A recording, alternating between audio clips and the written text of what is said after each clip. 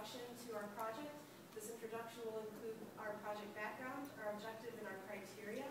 Then I'll hand it off to my teammates who will each present a section of the proposal.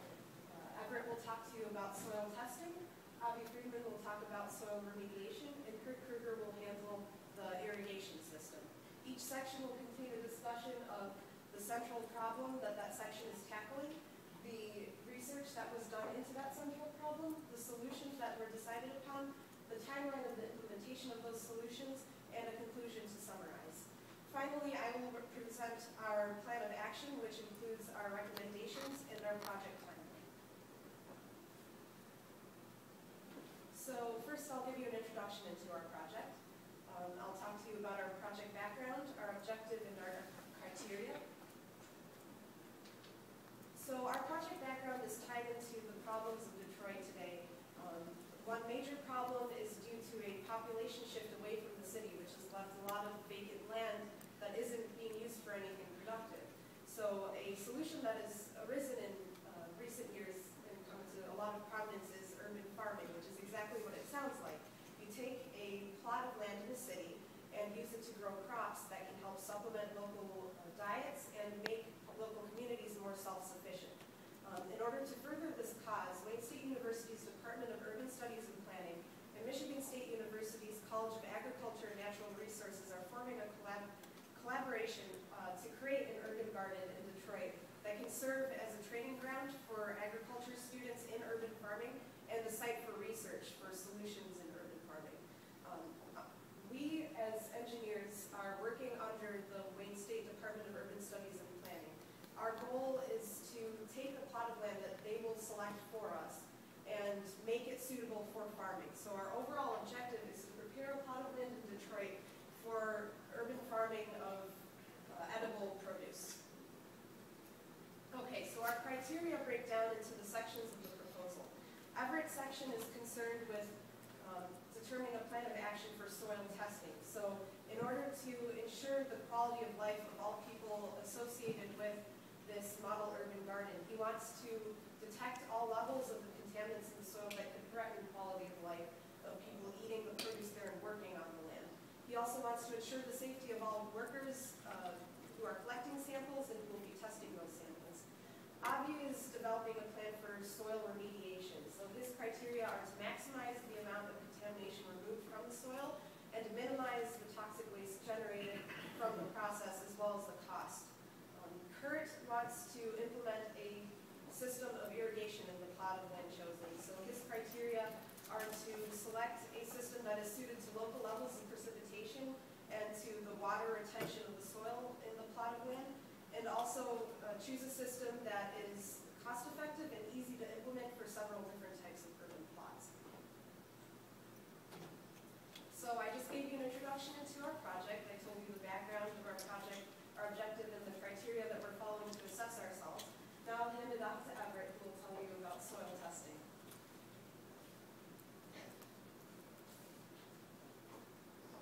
Well, thank you, Trish, for that portion of the presentation.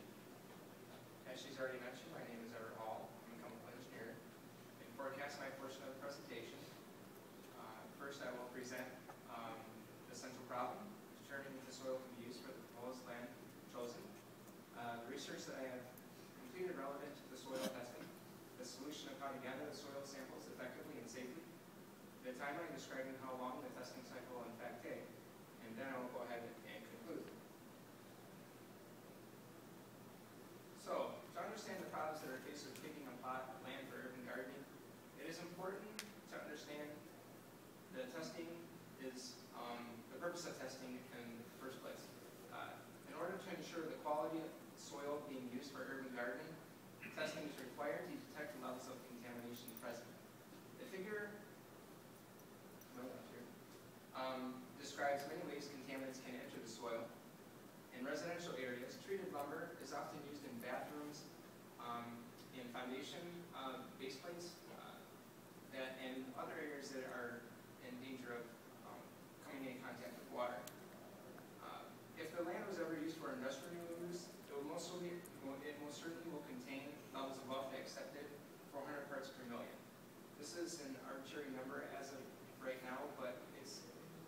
research completed, it, it seems that 400 is, is, a safe number to, to determine if it's a safe level or not.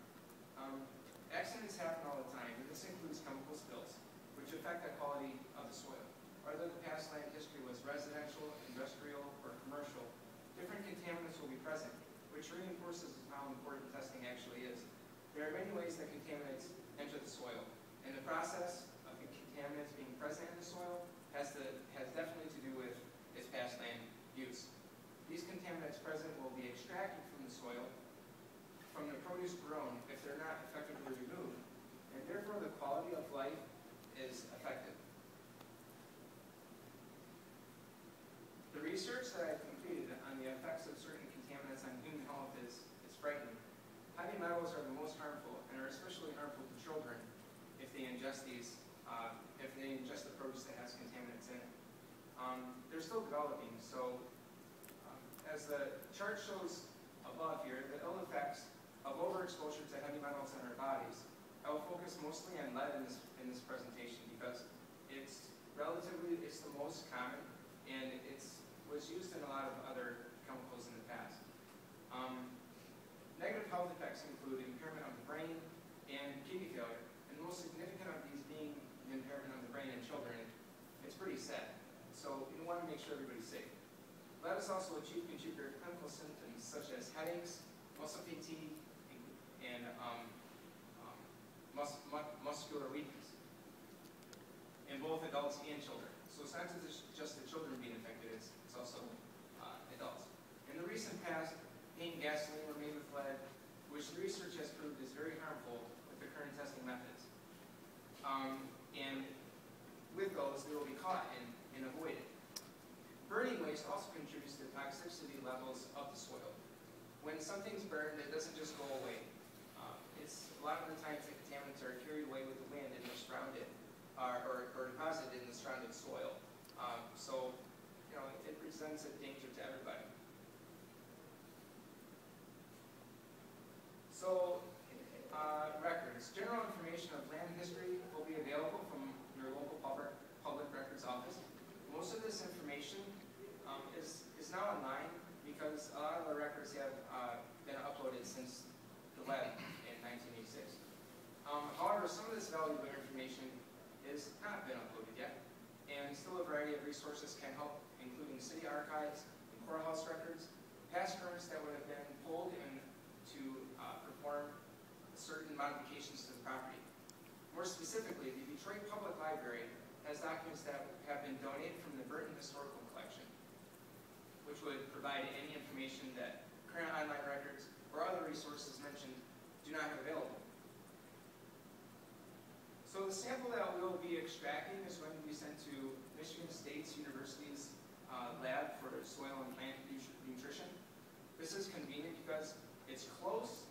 It's only like an hour and some change away, an hour and a half. It's, and it's located, um, you know, within urban areas.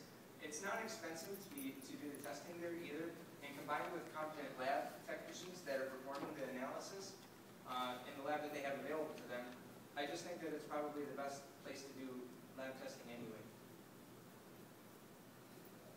So the strategy to gather the soil um, to be sent to that lab, it's, it's not very complicated at all, but it, it's very important to at least get it right, execute it properly.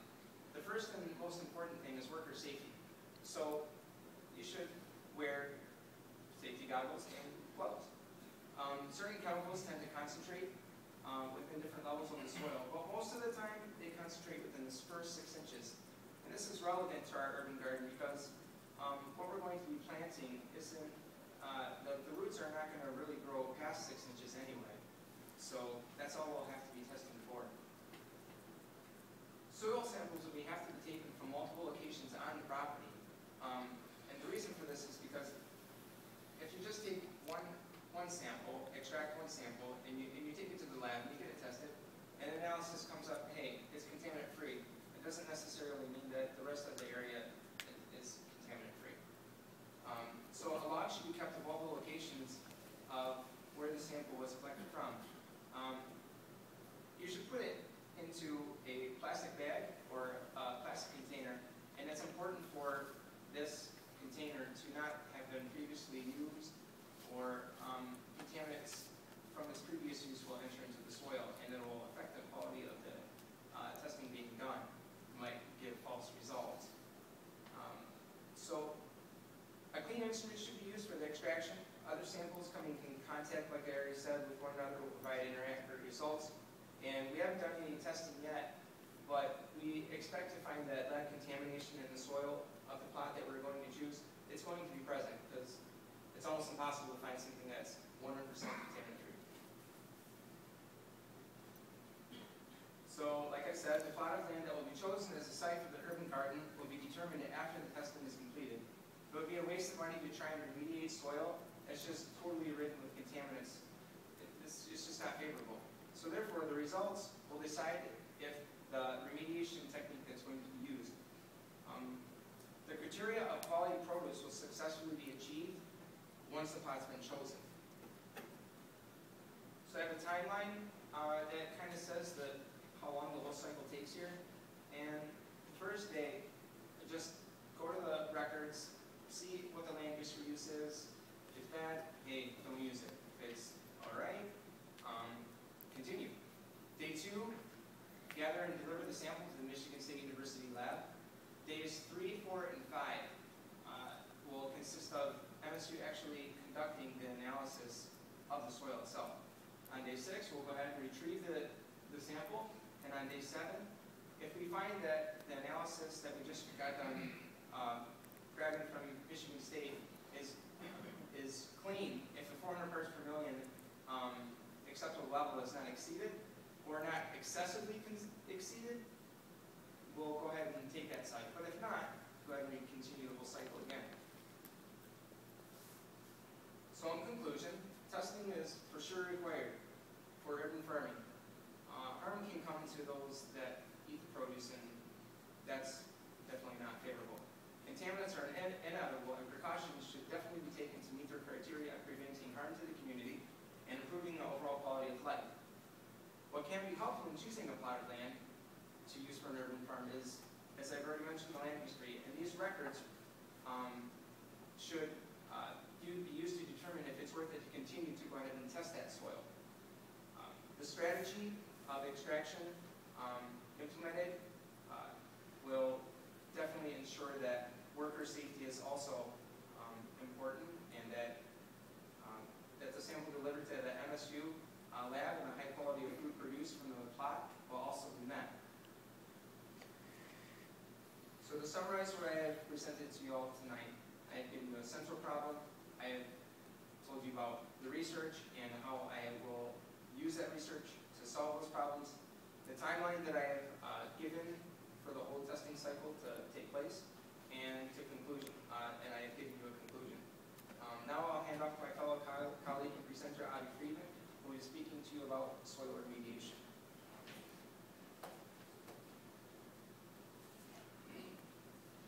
Thank you, Everett. Good evening, my name is Avi Friedman, and tonight I'm a heavy chemical engineer here at Wayne State University. Tonight I will be presenting on my subject for the proposal, soil remediation. The central problem, uh, I will also discuss the central problem um, which, which leads to a solution of soil remediation, uh, my research and solutions, um, preferred method, which are preferred methods of soil remediation. I have a timeline which is which will discuss the order and length of the, the different processes in, in, in, in soil remediation, and I will conclude and summarize the presentation, um, summarize my section of the presentation. So the central problem um, of, of that, that, that um, why soil remediation is necessary, because as I've explained, um, as a result of soil testing, there may be contaminants found in the soil. So therefore, we have to remove them. So the question is, how is that accomplished? So through my research, I found there are different, there, there are many different methods of soil remediation, but four of the preferred methods are excavation, phytoremediation, compost addition, and microbial remediation. And I'll discuss these one by one as I continue the presentation. To decide which method is appropriate, uh, the, the, the soil remediation methods will have to meet the following criteria. They'll have to maximize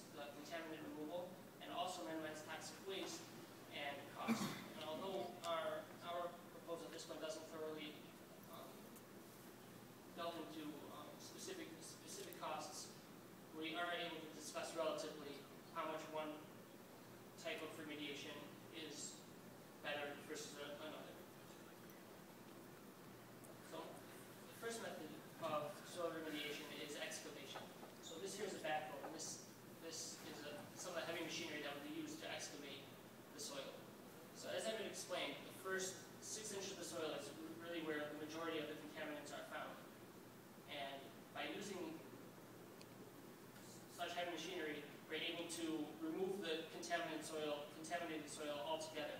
This is a very uh, effective solution for contaminant removal because it gets rid of the problem altogether instead of just fixing the solution in the soil. We're just removing the soil and replacing it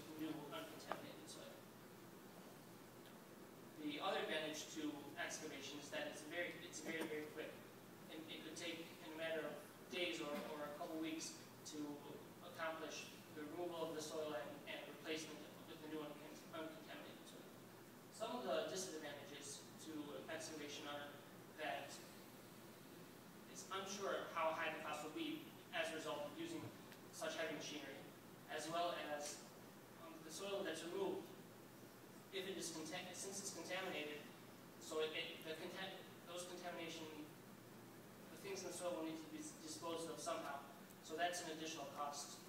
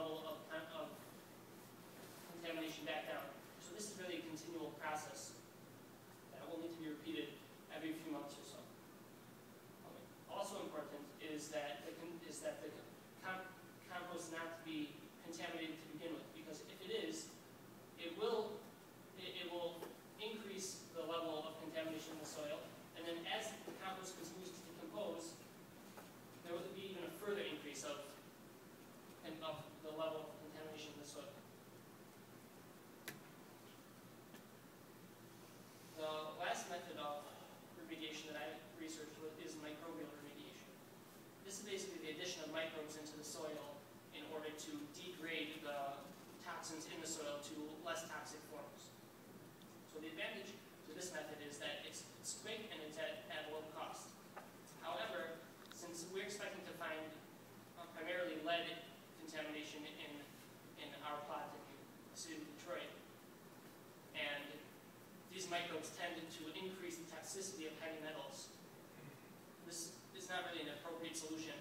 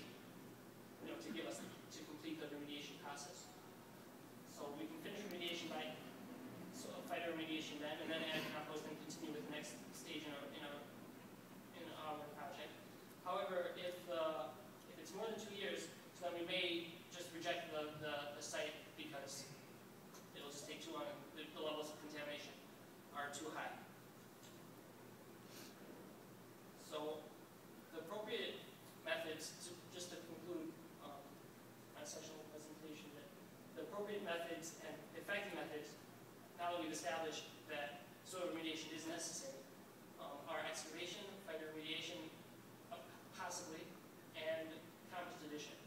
Um, although microbial remediation is an effective method of contaminant removal for our project, um, it does not, does not fit. So in summary, tonight I spoke about the central problem, why soil remediation is necessary.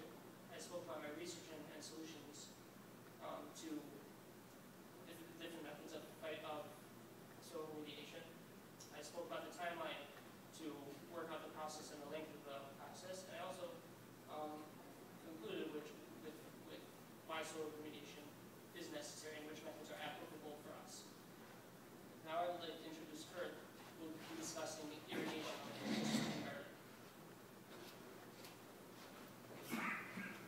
Thank you very much, Avi, for that introduction. Uh, Once again, my name is Kurt Kruger, and I'm a chemical engineer. And I will be discussing to you uh, the subject of irrigation. Um, I will first relate why irrigation is related to our goal of creating an urban farm. I will then discuss the research that I have done and the solutions that I have come up with. Um, I will present a timeline for the implementation of irrigation. And then finally, I will be giving a conclusion and summarizing my portion of this presentation. Okay. Um, obviously, uh, plants need water in order to grow, and in the case that the natural amount of rainfall is insufficient at providing that requirement of water, it's essential to artificially provide the water to the crops. Okay, so my goal is to come up with an irrigation system that will uh, satisfy Detroit's unique weather uh, and uh, its own climate and the amount of rainfall it has through each season.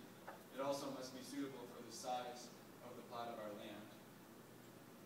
Okay, so I began to research a whole variety of irrigation methods. And uh, so like, I'll just highlight some of the ones I came across. Uh, this here is a picture of a center pivot irrigation system. And it's actually designed for large-scale commercial farms. Uh, that large pipe sprays water on the ground as it rotates about a center point, but it's just, it's way too large for our uh, plot of land, so therefore it's going to be completely impractical. Um, on a slightly smaller scale, uh, this system right here is called a traveling gun irrigation system. And it, this is a sprinkler that uh, shoots water out in a radius as it's being pulled across the field. But once again, it's just too large for the type of land that we're going to be irrigating. Okay, and a slightly more feasible type of irrigation system I researched was called a, uh, a permanent set. And this irrigation system is just the sprinklers that have pipes mounted in the ground that can provide water to the entire field. However, although it's pl- plausible for a Detroit urban plot, I've come across a more, a uh, better alternative, therefore I will not be discussing this any further. Okay, I also uh, learned about a method called sub-irrigation. Irrigation is like taking the crops and growing them in a bin. And at the bottom of this bin exists a water reservoir.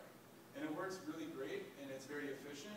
However, the scale of it is just too small for what we're trying to accomplish.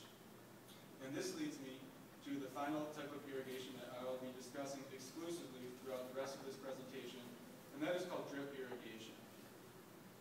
Okay, I first learned about drip irrigation uh, on my tour that I took Earthworks Detroit Urban Farm. It's a local urban farm right here in Detroit, and um, I simply asked them what type of irrigation system that they use, they told me it was drip.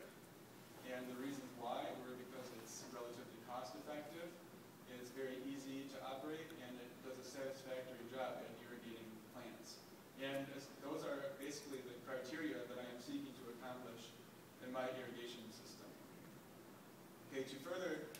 describe what drip irrigation is, is it's just, it's a long hose that lays across the entire row of crops. And throughout this hose, there are holes punched in it, and water slowly trickles out each one of those holes. Uh, those holes can be placed anywhere between four to 24 inches apart. And um, uh, this hose must lay next to the entire row of plants. And the reason why is because the water is just very gently trickling out of all the holes. Um, this brings me to why this is a viable solution for our Detroit urban farm. Um, since the water is trickled and not forced out of the holes, uh, that means the, the water can be flowing at a very low water pressure. And this is a good thing because a low water pressure requires a lot less energy to operate than otherwise. And uh, that would save a, huge cost on pumping the water. Okay, the sec- another reason why drip irrigation satisfies the criteria of being cost effective is because it applies the water directly to the roots of the plant. Um, this is good for two reasons. Um, the, the water is only being applied to the roots, which means less water is being used overall, and the dirt in between each of the rows is not being watered. It doesn't need to be, and in fact, that actually discourages weeds from growing. So it's not to say that it completely solves the. However, it's a perk that applies to drip irrigation methods. Okay, um, now throughout the course of my research, I came upon a concern that uh, had to do with growing plants that start out as seeds. Um, can drip irrigation provide enough water for seeds to grow? Because after all, seeds don't have a very developed root system, and can this gentle flow of water be enough for the seeds to grow? And the short answer is yes. But I examined three cases. Uh, two came from farms out in California, and then one was from a farm out in Oregon. And uh, these farmers all concluded that drip irrigation systems can provide enough water for seeds to grow, which means that they will only, they, they can only use that one drip irrigation system. They don't have to purchase any other equipment. Uh, but the catch to that is, uh, the drip hose should have eight-inch spaced holes. Um, see, that's as opposed to anything wider. Uh, anything wider than that might not give the correct wetting pattern. And uh, these two figures illustrate what I mean by a wetting pattern. Um, you see, uh, this is an example of a field in which drip hose is buried just beneath the surface, and it's divided into two halves. Uh, the left half has drip hose with 12-inch spaced emitters, and then the right half has drip hose with 8-inch spaced emitters. And um, so this picture on the left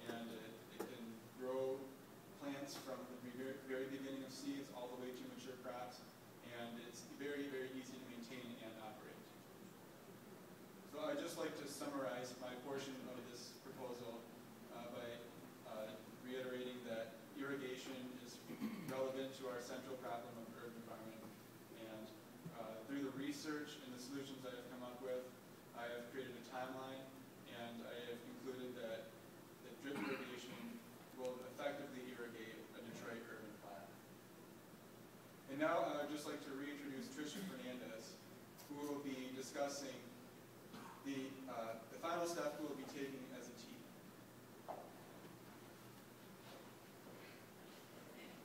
Thank you for the irrigation section, Kurt.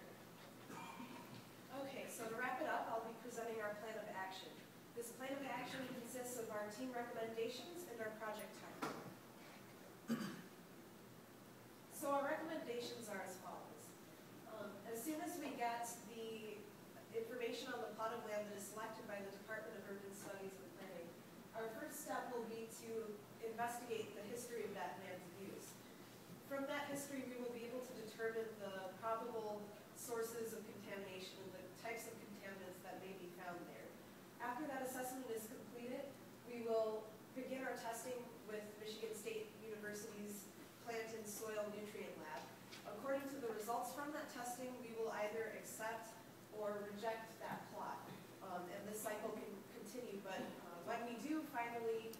septic bottom land, we will uh, commence with soil remediation. Soil remediation will consist of an initial excavation of the topsoil, followed by potential phytoremediation depending on the types of contaminants found and the levels of those contaminants. Finally, soil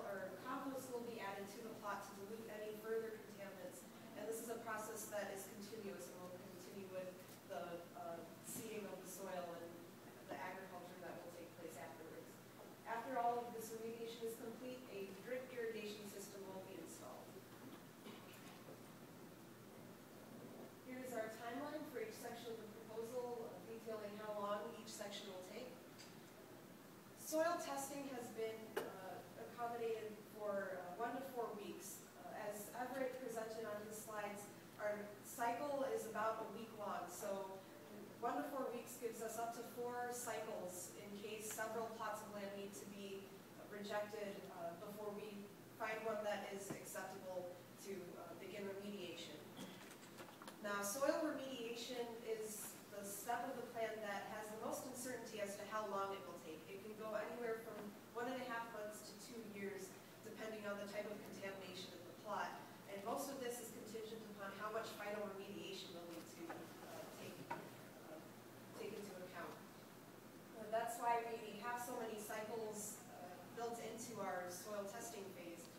that we can have uh, some selection to minimize this time. But we have set aside two years in case we do need that. If anything goes above two years for the soil remediation, we will reject the plot and try again. After the soil remediation is complete, we will uh, pursue installation of the drip irrigation system. The section of the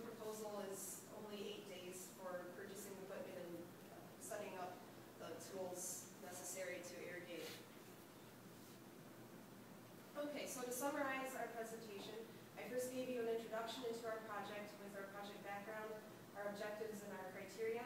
I then handed it off to my teammates who presented their sections. Everett talked about soil testing. Avi talked about, about soil remediation, and Kurt went into his irrigation plan. Each section contained a discussion of the central problem tackled, the research done into that central problem, the solutions found, the timeline for those solutions, and a conclusion wrapping up the main points.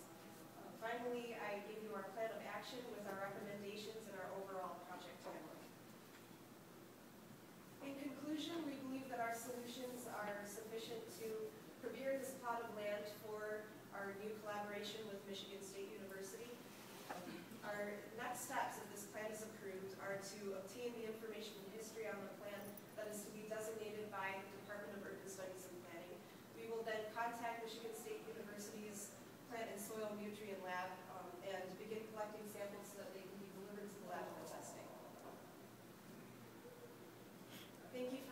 senhor, porque